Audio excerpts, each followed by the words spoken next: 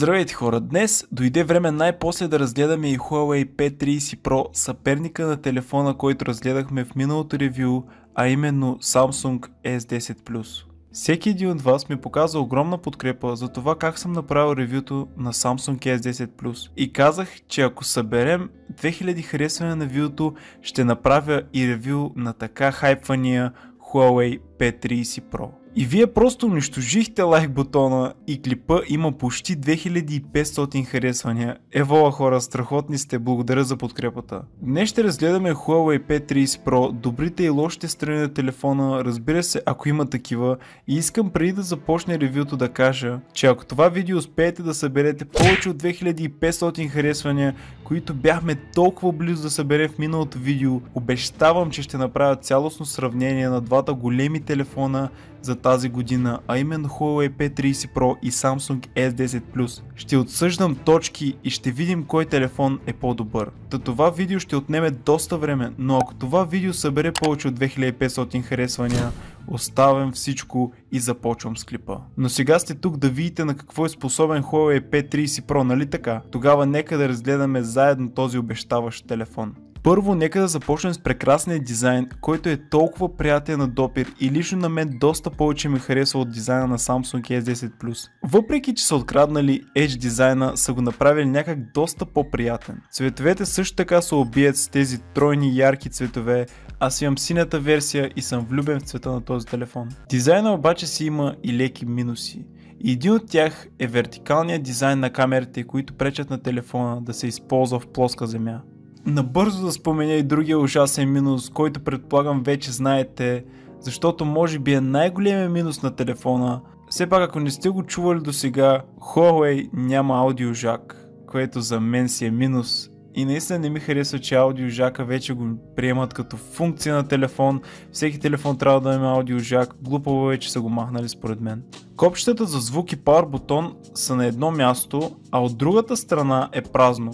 Huawei просто обичат този начин на копчетата, какво да кажа. Huawei струва 1749 лева смартфон BG, но ако използвате промокод KOBI ще спестите до 6% от вашата поръчка, което не е малко. Линк за телефона ще сложа в описанието на клипа. Телефон разбира се е прахоустойчив и водоустойчив. Имате си място и за SD карта, с която можете да добавите и допълнително гигабайти. Също така горния спикър, който използвате за разговори го няма, а вече е вграден, което е доста интересно, но означава, че няма да имате стерео спикъри, което не е толкова интересно.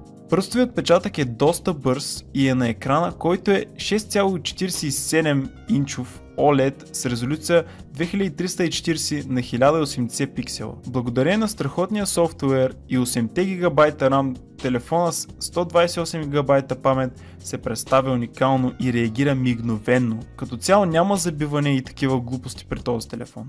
Нещо изумяващо за телефона е батерията. За мен този телефон има най-издържливата батерия на който и да е смартфон на пазара с цели 4200 мА. Този телефон разби моите очаквания. Използвах го цял ден и си оставах на 30-40% батерия, което е удивително. За хората, които не си използват толкова редовно телефона, ще издържи поне 2 дена със сигурност. Относно батерията, този телефон за мен е шампиона. И сега нещо, което прави този телефон толкова добър, а именно камерите. На гърба на телефона имаме 4 сензора с 3 камери, които играят голяма роля в снимките. Двете камери спомагат с зума, а другата камера е Depth of Field камера, която спомага с боке ефекта или по-точно снимките с размазан фон. Зума наистина е ненормален. Има разбира се 1 хикс зум, 5 хикс зум, 10 хикс зум и може да стигне дори до 50 хикс зум. Айде сега, това нормално ли е за телефон? Повечето телефони стигат до 8 хикс, 10 хикс, а този стига до 50 хикс зум? Айде бе. Разбира се, колкото повече изума, толкова по-зле става качеството, но все пак Качеството на снимките също така е доста ясно и изчистено, цветовете също доста ми допадат, макар че трябва да знаете, че Huawei доста ги променя. И това, което виждате, изобщо не е това, което снимате. Но сега нощния режим на снимане, който Huawei са добавили, променя играта и просто поставя телефона на много голямо ниво. Можете сами да видите снимките, снимани с този телефон – За снимки с телефон това е нещо уникално. Нощният режим отнема 6-7 секунди, в които снима, но финалният резултат е уникален. Не можете да штракате 5 снимки на нощен режим наведнъж, а една снимка ще ви отнеме едни 6-7 секунди, както казах, лек минус за чакането, но все пак резултатите са прекалено добри за снимка с телефон. И чакането в повечето случаи ще си струва. За предната камера няма много какво да кажа. Камерата е хубава, но е само една камера и липсва Depth of Field сензор, с която ще можете да блървате задния фон на снимките, но ако това не ви интересува, камерата се снима доста стабилно. И ако мегапикселите тези дни ви интересуват, предната камера има 32 мегапиксела, а задните камери имат общо 60 мегапиксела. iSilicon Kirin 980 процесора си е стабиларка и нямам никакви забележки. Android си е 9 разбира се и като цяло това е всичко главно за телефона. Бих казал, че се отличава с уникалната си задна камера и с прекрасния си дизайн. Лично аз не използвам Huawei, но този телефон според мен е нещо, което трябва да се опита, особено ако сте фенове на Android. Това ревю точно както миналото е благодарение на Desktop BG и благодарение на тях можете да си намалите телефона от оригиналната цена до 6% с промокод KOBI и да спестите доста от поръчката си. Вие какво мислите относно този телефон и ако притежавате подобен, бих искал да чуя вашето мнение долу в коментарите.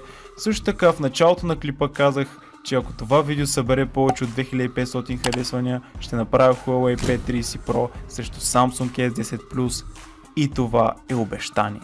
Та надявам се крайният вариант на видеото да ви е харесал. Доста старание мина в направата на това видео и наистина се надявам да ви е харесало. И остана само да кажа, останете хладнокръвни, жани за кръв върху Ако не сте, абонирайте се и до следващия път. Чао!